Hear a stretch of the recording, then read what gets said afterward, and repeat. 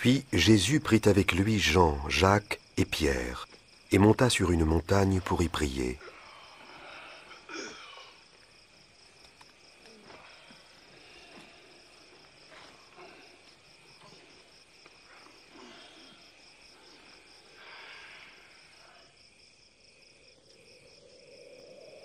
Pendant qu'il priait, son visage changea d'aspect et ses vêtements devinrent d'une blancheur éblouissante. Soudain, il y eut là deux prophètes d'autrefois qui s'entretinrent avec lui, Moïse et Élie, entourés d'une gloire céleste. Tu accompliras la volonté de Dieu. Tu mourras à Jérusalem.